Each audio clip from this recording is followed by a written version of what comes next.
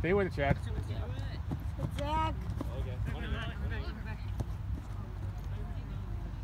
for just the peanuts or just other Oh, this right now. on.